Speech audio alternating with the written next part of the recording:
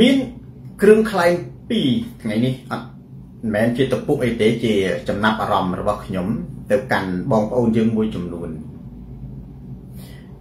ឆ្កែចេះតែព្រុសមនុស្សចេះតែដើរ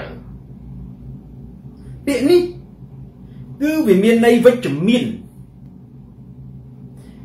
ដែលសំដៅទៅលើការផ្ដោតអារម្មណ៍និងចោលភ្នែក ពេញពេញទៅលើគោលដៅនិង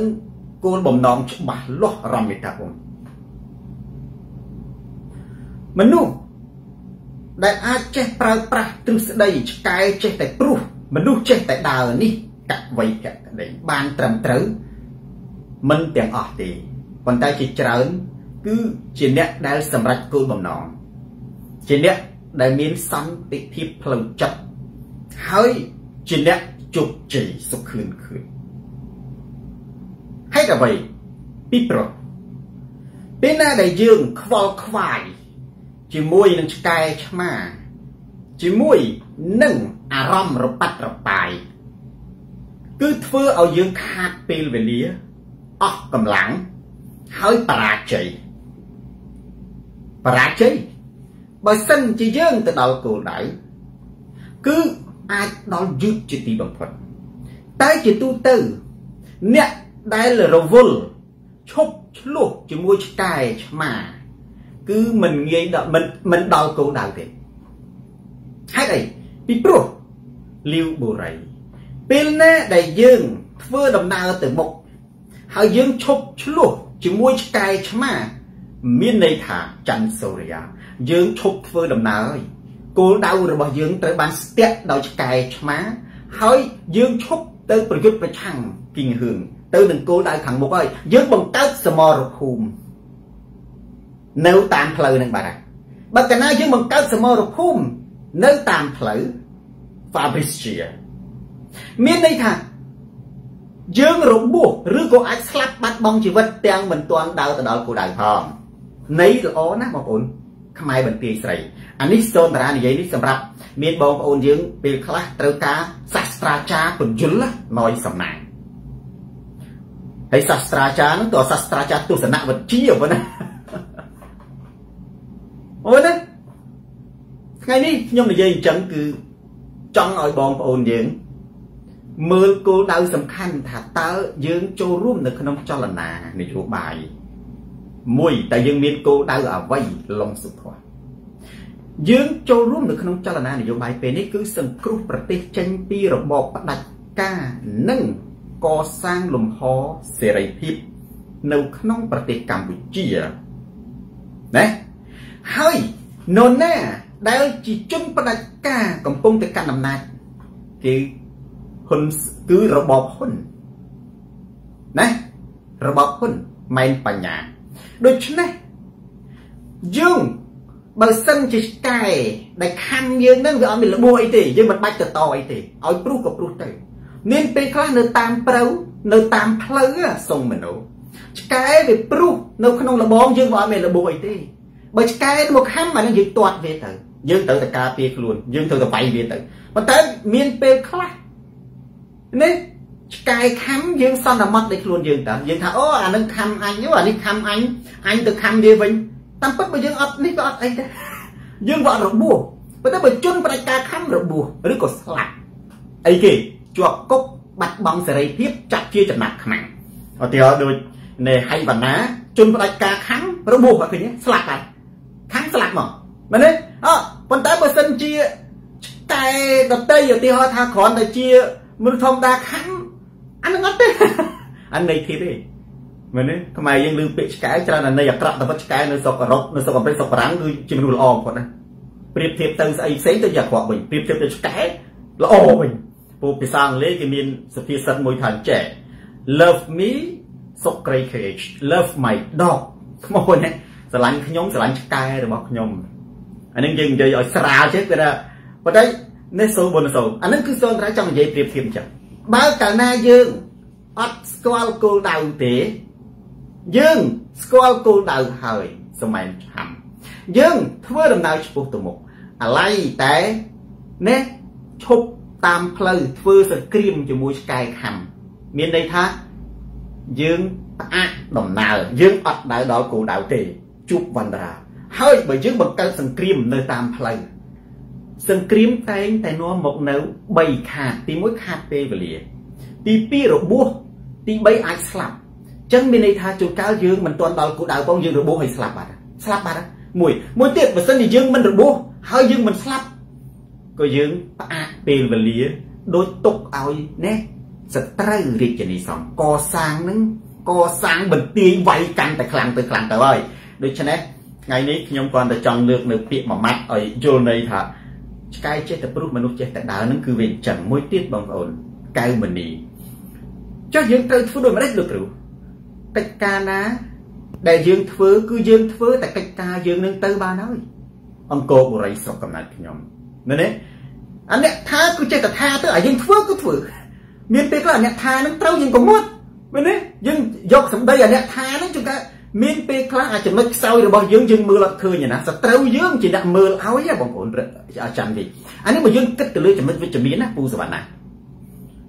រឿងសំខាន់ណាបងណាមានពេលខ្លះ ចំណុចខ្សោយរបស់យើង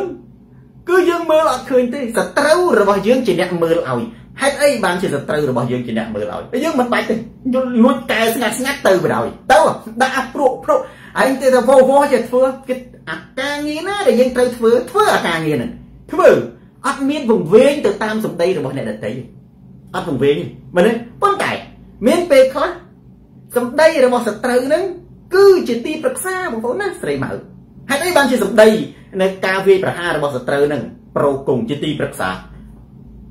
ណាស៊ីងសារៈជួនកាលយើងមើលកំហុសយើងអត់ឃើញទេពួកពួកអ្នកពួកអ្នកជេរបចោយើងដែរដែលមើលកំហុសយើងឃើញឬអីពីព្រោះមនុស្សដែលតាមឈ្នានេះយើងណា គឺគេមើលតែកំហុសទេគេអត់មើលទៅលើចំណុចល្អរបស់យើងទេ យើងកុំរំពឹងថាសត្រូវរបស់យើងនឹងសរសើរនឹងមើលពីចំណុចល្អរបស់យើង បើសត្រូវសរសើរនឹងមើលពីចំណុចល្អរបស់យើងអានឹងគឺជាមិត្តយើងហើយណាមួយទៀតហើយគេមើលតែចំណុចអាក្រក់អញ្ចឹងបើយើងចង់ដឹងថាយើងអាក្រក់យ៉ាងម៉េចយើងទៅនេះមើលពួកឆ្កែព្រុសព្រៃចំណិត share វីដេអូនេះទៅកាន់ព្រៃចំណិតទៅទៀតទូរទស្សន៍សូនតារា ស្រាត់ខោជិនផ្ដាច់ការផ្លាស់ប្ដូរផ្នែកកំណត់ឆ្កែព្រុសឆ្កែចេះតែព្រុសមនុស្សចេះតែដើរចាំងវីវាភ្ជាប់ទៅនឹងគ្រឿងខ្លែងទី2គឺលៀបពណ៌តើមនុស្សគេច្រើននិយាយថាឯងលៀបពណ៌អញឯងចោតអញហ៎ឯងឃើញតែលៀបពណ៌គេឯងឃើញតែដើរចោតគេបងប្អូន ពាក្យលៀបពណ៌គឺមានក្រោយពេលប្រទេសកម្ពុជារងលទ្ធិកុម្មុយនីសមុននឹងអត់ដែលមានទេពាក្យលៀបពណ៌នេះគឺមានខ្លាំងបំផុតចំនួនប៉ុលពតខ្មែរក្រហមអានេះខ្ញុំនិយាយសៅបដាបន្តិចពាក្យលៀបពណ៌នេះគឺវាកើតចេញពីអ្នកមានអំណាចលៀបពណ៌ទៅលើប្រជាជនតៃតៃ ឬក៏ជនទុនខ្សោយ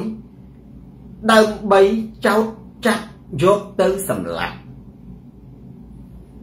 រហូតនៅក្នុងរបបខ្មែរក្រហមការលៀបពណ៌ពេញនិយមណាស់បើមានពេលខ្លះពួកកម្មាភិបាលពួកណែលីត្បូងចប់ហ្នឹងវាស្រឡាញ់ប្រពន្ធគេវាលៀបពណ៌ប្តីគេនឹងយកទៅវាយចោលបាត់អាហ្នឹងហៅទេលៀបពណ៌លៀបពណ៌ មានសាវតាដ៏ជូរចត់និងក្រាស់ខ្មឹកមកបុព្វាគឺនៅក្នុងរបបប៉ុលពតហើយសុគន្ធកឹមតែងតែធ្វើពីសំណាក់អ្នកមានអំណាចមកលើអ្នកទុនខ្សោយលៀបពណ៌កម្រកើតមានពីអ្នកទុនខ្សោយទៅអ្នកមានអំណាចណាស់កម្រមានន័យថាមិនមានន័យថាអត់ទេមានដែរណាលៀបពណ៌ វាបានវិវត្តចាប់តាំងពីសម័យប៉ុលពតរហូតមកទល់សពថ្ងៃរហូតមកទល់សពថ្ងៃលៀបពណ៌គឺដូចដែលខ្ញុំលើកឡើងហើយតែងតែកើតចេញពីអ្នកមានអំណាចលៀបពណ៌អ្នកទុនខ្សោយចោតចាប់យកទៅសម្លាប់បច្ចុប្បន្នអ្នកមានអំណាចដដែលមិនមែនជនស្រួតត្រង់ទេគឺជាអ្នកលៀបពណ៌អ្នកទឹងខ្សោយចោត ចាប់វាយក្នុងដាក់គុកអ្នកលៀបពណ៌ទី1បច្ចុប្បន្នគឺរបបហ៊ុនឬក៏អាចនិយាយថាហ៊ុនសែនបងប្អូនសឹមសម្បូរបើតាណាមានអ្នកលៀបពណ៌មានជនរងគ្រោះហើយបងប្អូនមានឃើញមនុស្សជាប់គុកកោទឹកកោដៃយើងកុំនិយាយអំពីអ្នកជាប់គុកអ ுக ្រិតកម្មយើងនិយាយអំពីអ្នកជាប់គុកម្នាក់សិកាពួកអ្នកជាប់គុកម្នាក់សិកាសុទ្ធតែត្រូវបានគេលៀបពណ៌ដោយគេយកពណ៌អីមកលៀប គឺគេយកពណ៌ញុះញង់ផ្សាយព័ត៌មានមិនពិតបរិហាគេបង្កឲ្យមានអសន្តិសុខវឹកវរសង្គមអាពណ៌នឹងណាវាคล้ายទៅជាបាត់ដែលកំពុងពេញនិយមរហូតសម័យឥឡូវនេះសម័យហ៊ុនសែនគេថាបាត់ដែលកំពុងពេញនិយមវណ្ណែសង្ហៈគឺបាត់ញុះញង់បាត់ញុះញង់គឺជាបាត់ដែលកំពុងពេញនិយមខ្លាំងបំផុតនៅក្នុងប្រទេសកម្ពុជាណាអញ្ចឹង អានេះខ្ញុំយកពីសាវកដានៃការលៀបពណ៌ដើម្បីឲ្យបងប្អូនយើងដឹងច្បាស់ថាវាមានប្រវត្តិមកពីណាចុះសម្រាប់ពាក្យថាលៀបពណ៌ចិត្តនៃទូទៅបានខៅដែលបងប្អូនយើងចង់សម្ដៅអានេះអំបញ្ញមិនខ្ញុំនិយាយពីប្រវត្តិសាស្ត្រហើយនិយាយអំពីតើអ្នកណាមានអំណាចនៅក្នុងការលៀបពណ៌ពីដើមប៉ុលពតឥឡូវហ៊ុនសែនឲ្យតែហ៊ុនសែនមិនសប្បាយចិត្តចង់ចាប់អ្នកណាលៀបពណ៌ថាអ្នកនឹងញញងចប់ពាក្យញញងមួយម៉ាត់អាចជាប់គុក មនុស្សជាប់ទុកដោយងាយនឹងរត់របស់ហ៊ុនសែនដោយអត់បាច់ចាំប្រព្រឹត្តបទល្មើសអីទាំងអស់គ្រាន់តែហ៊ុនសែនអត់ចូលចិត្តនៅនឹងអាចជាប់គុកបានអត់ហ៊ុនសែនចូលចិត្តនឹងជាប់គុកណាអានឹងហៅលៀបពណ៌ណាបងប្អូនប៉ុន្តែនៃឥឡូវអាបាញ់នឹងនិយាយពីប្រវត្តិនឹងថាតើលៀបពណ៌កើតមកពីណាកើតមកពីអ្នកមានអំណាចទៅលើជនទុនខ្សោយ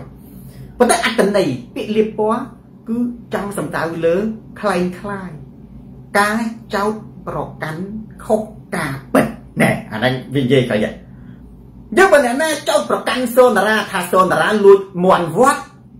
លួចលុយលោកអាហ្នឹងគេហៅថាលៀបពណ៌ព្រោះខ្ញុំអត់មានបានលួចលុយលោកឬក៏លួចមន់វត្តទេអាហ្នឹងគេហៅថាលៀបពណ៌ឬឆាតអមែនប៉ុន្តែបើសម្រាប់ឆ្លើយទៅនឹងពួកក្រុមអ្នកលៀបពណ៌ហើយចោទថាយើងលៀបពណ៌វិញ តើយើងត្រូវឆ្លើយយ៉ាងដូចម្ដេចសម្រាប់នេះតបទៅនឹងពួកក្រុមអ្នកលៀបពណ៌ទៅរកគណៈបកប្រជាជនដែលកាន់អំណាចអាហ្នឹងគឺបកលៀបពណ៌ហើយអានេះធានមិត្តរដ្ឋអានេះធានលៀបពណ៌ហ៊ុនសែនបងប្អូនណាគឺហ៊ុនសែនលៀបពណ៌គេអ្នកណាទាហានលៀបពណ៌គណៈបព្វជិជនគណៈបព្វជិជនលៀបពណ៌គេអ្នកណាទាហានលៀបពណ៌អពតអពតលៀបពណ៌គេអ្នកណាទាហានលៀបពណ៌គណៈកម្មាភិបាលខ្មែរក្រហមខ្មែរក្រហមលៀបពណ៌កម្មាភិបាលខ្មែរក្រហមលៀបពណ៌ប្រជាជនណានេះសម័យឥឡូវនេះអ្នកនិយាយការពិត អ៊ុំសម្បត្តិអានឹងគេហៅថាលៀបពណ៌ប៉ុន្តែអ្នកនិយាយលៀបពណ៌សួងឈានគេហៅថានិយាយការពិតទៅវិញអញ្ចឹងយើងឧទាហរណ៍ថា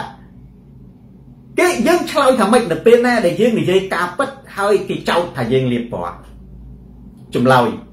បងប្អូនបើយើងជាមនុស្សសុចរិតត្រឹមត្រូវយើង កុំឲ្យសម្ដីរបស់អ្នកដតីម៉ារីស្រីជះឥទ្ធិពលលើភាពបរិសុទ្ធរបស់យើងតើត្រូវធ្វើដូចម្ដេចកុំលវីលវល់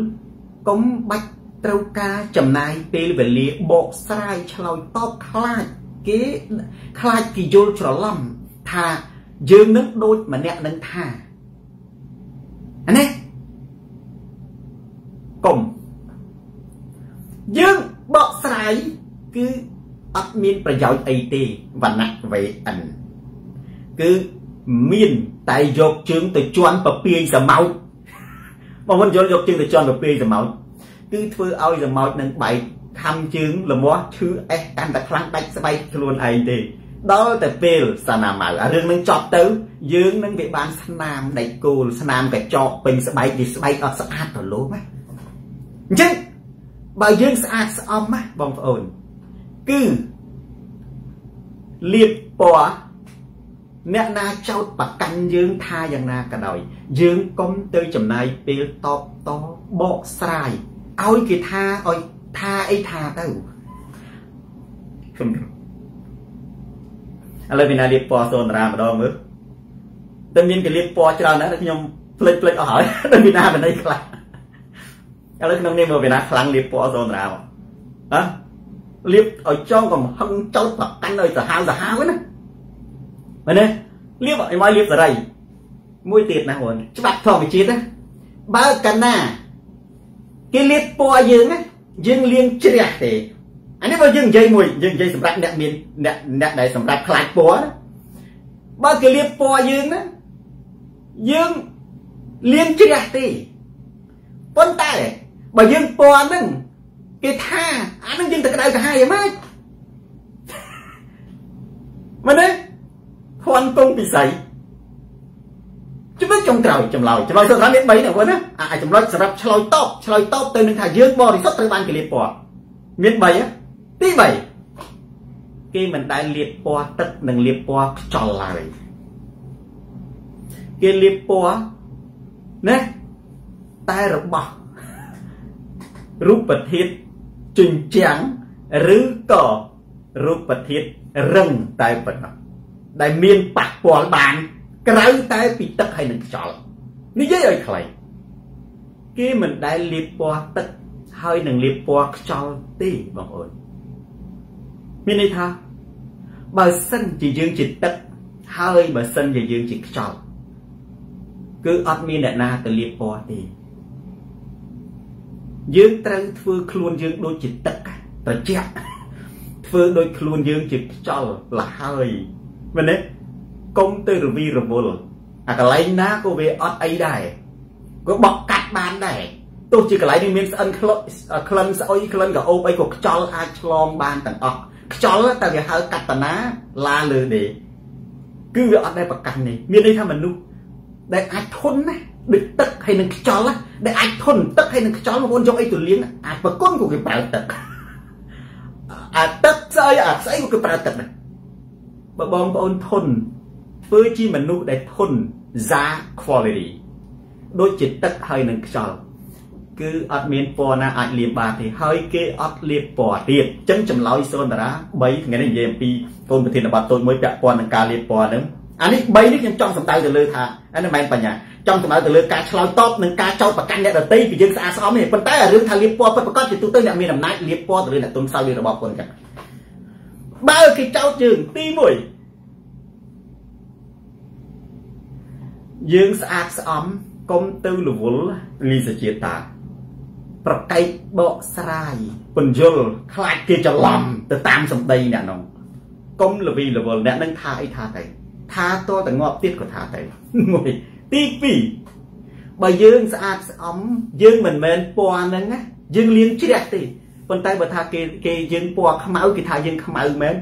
អានឹងយើងលាងអត់ជ្រះទេទី3គេមិនលាបពណ៌លក្ខណៈវ៉ាន់ទឹកហើយនឹងខ្យល់ទេខ្ញុំចង់និយាយថាមនុស្សដែលទឹកហើយនឹងខ្យល់គឺជារបស់ដែលធន់ណាបងប្អូនរបស់ដែលធន់ប្រឡាក់គ្រប់យ៉ាងក៏អត់ប្រឡាក់ទឹកទុកយ៉ាងណាក៏វាហូរកាត់ស្អីក៏ហូរដែរតែទឹកនឹងតែទឹកដដែលយើងធ្វើជាមនុស្សធន់ ដែលអាចឆ្លងកាត់បានគ្រប់ដំណាក់កាលទាំងអស់ពេលណាដែលយើងคลายខ្លួនទៅជាមនុស្សធន់ដូចទឹកហើយនឹងខ្យល់គ្មាននរណាគេអាចលាបពណ៌យើងបានទេអ្នកលាបពណ៌យើងគឺជាអ្នកដែលคลายទៅជាពណ៌នឹងដដែលប្រិយមិត្ត share វីដេអូនេះទៅកាន់ប្រិយមិត្តដទៃទៀតទូរទស្សន៍សូនតារាស្រាត់ខោជិនផ្ដាច់ការផ្លាស់ប្ដូរផ្នត់កំណត់មកបូពីថ្ងៃនេះចំណេះដឹងទូទៅល្អបងណាចាន់វាចឹងបានខ្ញុំថាមានបងប្អូនយើងមួយចំនួនហ្នឹង ម្សិលមិញសុនកុសលអានេះដូចតបជាប់ពីម្សិលមិញដែរចុងទានប័ណ្ណទី1ចឹងណាដកតបជាប់ពីម្សិលមិញបងប្អូនយើងក៏ថាលោកគ្រូអាពឹងឲ្យលោកគ្រូជួយខាត់ជួយហាមគ្នាយើងតិចទៅថាឲ្យឈប់ឲ្យឆ្លោះគ្នាឯងខ្ញុំធុញទ្រាន់ណាលោកគ្រូខ្ញុំឃើញខ្ញុំធុញខ្ញុំមិនចង់អាណាឈ្នះចាស់មរសនរាថាអញ្ចេះលក្ខណៈវ៉ាន់យើងមិនអាចហាមឃាត់នរណាបានទេ ប៉ុន្តែយើងអាចហាមឃាត់ខ្លួនឯងបានអាហ្នឹងចង់ហាមឃាត់ខ្លួនឯងនេះនេះណាយើងក៏បើយើងហ៊ុនដូมันអាចហាមឃាត់ខ្លួនឯងបានតើយើងទៅហាមឃាត់អ្នកដតីយ៉ាងដូចម្ដេចឥឡូវបងប្អូនឃើញគេឆ្លោះគ្នាឃើញអីនេះយើងថាគេទៅទៅទៅគេទៅយើងហាមខ្លួនយើងកុំទៅប្រឡូកពកបាក់ជាមួយអានឹងគឺសារនេះសំខាន់ណាស់ហើយបើខ្ញុំថាចុះត្រូវធ្វើដូចម្ដេចចង់នេះសិនតើណាយើង បើសិនជាយើងមិនពេញចិត្តយើងប្លុកចោលទៅឬក៏ unfriend ចោលទៅបើសិនជាថាមិត្តភក្តិចិត្តស្និទ្ធ block unfriend កើតយើងគ្រាន់តែឃើញអាចចំនួនអត់ប្រយោជន៍ហ្នឹងយើង scroll ថែមកុំចំណាយណាតាវ៉ែនខួរក្បាលរបស់យើងដាក់សម្រាមទៅដាក់ពន្លឺកតិបណ្ឌិតល្អល្អដូចជាចែកចាយទូរទស្សន៍សូនតារាស្ដាប់សូនតារាទៅកើតក្តីសង្ឃឹមមកបងប្អូនកើតទុកចិត្តកើតជ្រះថ្លា